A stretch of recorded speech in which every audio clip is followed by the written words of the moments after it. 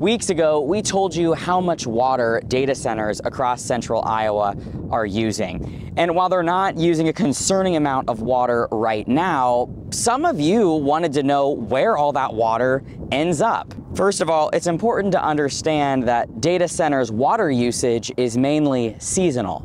During the winter, they don't use hardly any water because of the cooler temperatures. They don't need that water for their cooling operations. But when water is needed to cool data centers, it keeps them cool with a process known as evaporative cooling. To help us understand what that is, we really can just talk about a pretty essential but also basic process in the world of weather, the water cycle. In the water cycle, energy from the sun heats up water across the world, causing it to evaporate into water vapor. This process cools the air where water is evaporating. As that water vapor builds, it eventually condenses to form clouds. A cloud that is too full of water vapor leads to rain or other forms of precipitation. Just as evaporating water cools the air around it, data centers take water and evaporate it using that process to then cool all those computer systems. Once the water has been evaporated back into the atmosphere, it can't be reused then.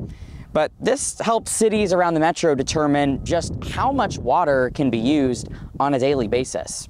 In a water utility, we're driven by the peak day demand. So how much we need to actually supply in a peak day or over the course of three days.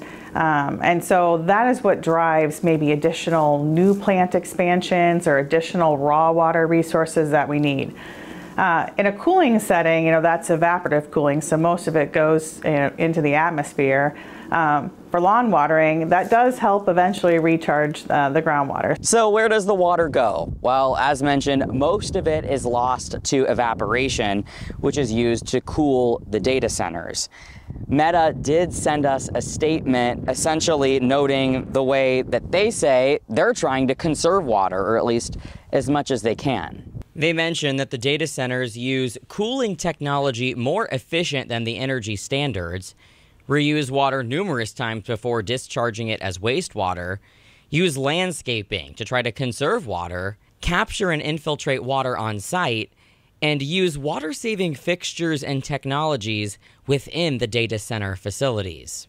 Of course, those who do manage water around the metro say that really any effort used to conserve it is worthwhile. It's never a good idea to waste water, right? There's resources that have to go into uh, treating water to pump into the drinking water system. It's never a good idea to waste that. Whether we're in a flood situation or in a drought situation, I would encourage folks to just be um, conscious of the water they're using. So to summarize, again, where does the water go? Well, a pretty good portion of it, most of it, is evaporated back into the air around us. That's the process that cools the data centers. And when that process of evaporation happens, the water can't be reused or put back into the water supply.